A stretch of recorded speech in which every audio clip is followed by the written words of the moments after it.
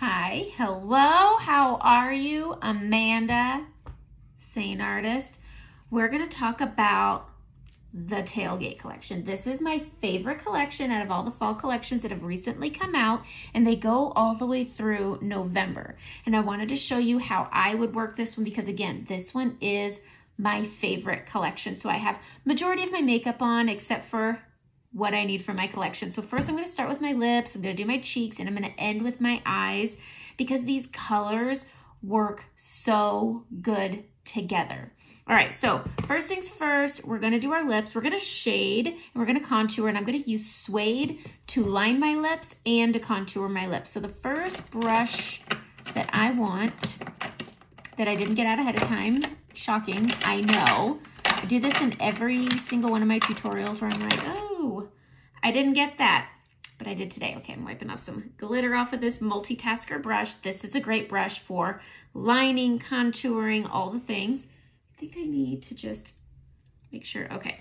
All right, so first things first, we're gonna go into suede. Suede is a really good color. This is a great tool just to have in your palette because it's so good for correcting color. It's great for shadowing. It's a great bronzer. It's a great lip liner. And so you can use it for multiple things. I like to use this to camouflage my melasma that I have. It's right on my contour line. And I dust that around and camouflage, drape it up because I'm starting to get more and more discoloration up and around this area of my face. So I just basically put it under all of my makeup and drape it and it's so good. And it, I like that it's dense. So it is very matte. It is very dense. This is the lip color I'm going to use. This is Desert Sunset and it's so pretty, hydrating, moisturizing, and it looks really good on the lips. So I'm going to contour because that's how I make my lips, which are not filled, I mean, I have naturally thin lips and this is what I do to make them look a little bit fuller.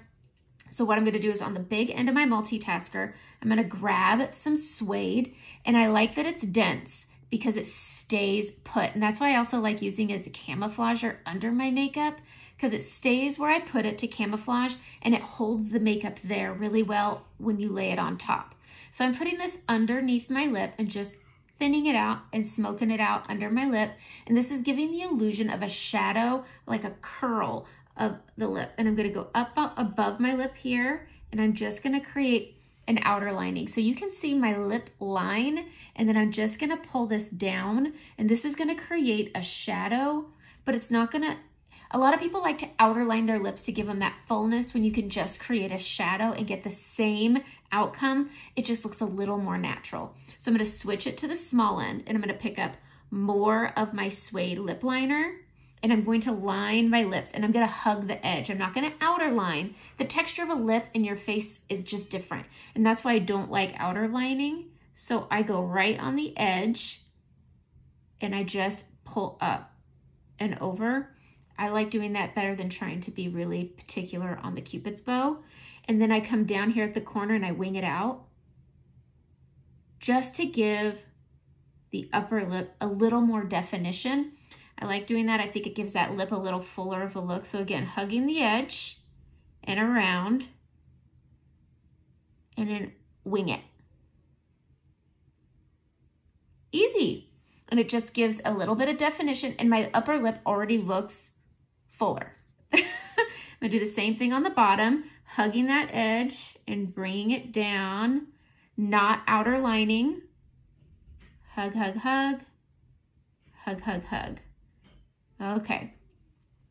And it just gives that nice fullness. I think because it's maybe a darker shade than what I'm putting on my lips or what my lips are, it's just good. And I just tap on my lips and then I'm gonna use my finger and I'm gonna go into Desert Sunset. It's such a great neutral pink tone. And I'm just gonna fill, look at that. Look at how pretty this goes together. And it's just a good neutral color. This is a very subtle palette. It's nice neutral colors. You can pump things up. You can add a little bit of sandstone in here if you want, if you want to pump it up a bit. It's You can do whatever you want with this palette. There's so many options. So I'm going to get that upper lip and ta-da. And it's just this pretty nude lip, but adding that shadowing just creates a pouty lip. And I like that. It makes, it's pretty. And that's why we do anything, right? That's why we wear makeup, because it's pretty. I'm going to use the shape brush. This is a demi brush. It's a really good blush brush. It's also a great bronzer brush, a great powder brush. It's another good tool that does a multitude of things. So I'm gonna go into sandstone and I'm going to go into the illuminator it comes with. This is rose gold. It's so good. And I'm gonna tap on both. And then I'm gonna start at the top part of my cheek and I'm gonna let that rose gold lay here. And then I'm gonna smile and I'm gonna bring sandstone down. It's just as good. Look at how, oh, you see that? Oh, that's, and I'm just gonna go into sandstone here add a little more and I bring it down, but I really like to focus it up here. This is, look at how gorgeous that is. That's such a pretty fall color when it's still nice outside. I mean, it's August. No, it's not. It's No, it's September, but we still have that. That's how bad this weather is for fall. It's still so summery. I feel like it's still August, but this is such a good transition color, but it's a beautiful fall color. So again, tapping into both. I make sure that the top part where my rose gold is is at the top of my cheek here. So it's mixing with my sandstone, but it's also giving me that sheen of illuminator.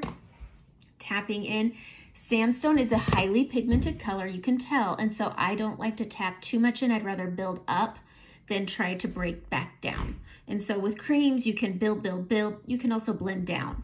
So I'm gonna take this end of the brush here and I'm just gonna pull that brightening down and look at how pretty that is. It's such Oh, I love, love, love this color. All right, so I am going to prep my lids and I'm actually thinking, what do I wanna do here? I'm gonna go into my brightener. I'm gonna get into my, my daily palette.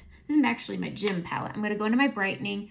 For eyeshadows, I love putting down a really bright base because it makes those eyeshadows hold their pigment. Whereas if you do something very neutral, say your main highlight, it can mm, it just doesn't, it's, it's changing the tone because it's a darker color. All right, so I've just put my brightening highlight on my lid and I am actually going to grab a little bit of illuminator here and I'm gonna pop this way up here so that it adds just a little bit of sparkle under my brow right here. It's so pretty. I love this. Okay, so we're gonna do that. And this just adds a little peekaboo shimmer. I don't like a bold shimmer on my eye because I am maturing and it is a Sunday. So we're going neutral. And so I don't like a hyper pigmented color. Next, I'm gonna go right here and this right color right here is Valencia. Super pretty. And I'm gonna set my lids. So I get very, I'm maturing lids. I am of an age. And you wanna set your creams with a powder. So I'm taking Valencia, Valencia because it's a light color. But look at how pretty that base is. Look at how pretty that is. It's very light, very neutral. If you have a deeper skin tone than me, oh, my kids, I'm sorry. If you have a deeper skin tone, this would just be a great base because you wouldn't see it. So it's a great base to set your shadow or your creams with because, well, it wouldn't show up. I like this because I'm going for a nice warm tone. I'm going to try to find an eyeshadow brush like this one right here. And we are going to dig into this color. This is Tangerine. I love taking an orange tone and using it as a transition color. And I'm gonna pop this way up here on my brow bone. Look at how much this just brightens things up. Now I have brown eyes. And I will say, it's hard to make brown eyes pop. My brown hair's been helping, I guess. That's what I've been told. But finding an eyeshadow that can really make your brown eyes pop is hard. So using orangey tones, I have found brings out almost a little bit of amber hue in my brown eyes. So that makes me happy. So if you have some amber hues in your brown eyes, grab yourself an orange tone shadow. Tangerine, Bubba, that's this one right here, has a little bit of orangey tone to it, is so good. But Tangerine, Leo, Zion, I'm sure there's another one. Havana are really great transition colors for brown eyes. I love them. All right, next I'm gonna go into I was, I'm gonna use my finger. I'm gonna go into Spice. Spice is a cream and it has a bronzy shimmer to it. And I'm gonna use my finger to apply it. And I'm gonna pop this way out here. And I'm just gonna messily push this into the inner lid or outer lid, just and out onto my brow bone here. Just, I love this color. It's so, so pretty, but I'm just keeping this on the lid on the outside and then pulling out past that outer corner just to have a little bit of I like a smoky eye. I'm a sucker for a smoky eye. Okay, pulling that out.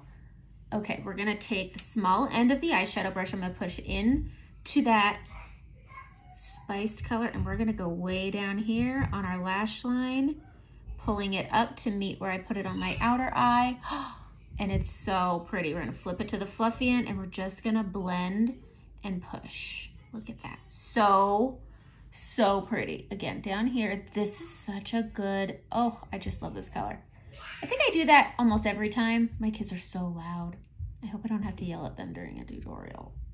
It's one of my least favorite things to do is like fully mom. I hate that. Okay, next I'm gonna go into Bubba and we are just going to go over that spiced to help set it and push into the crease.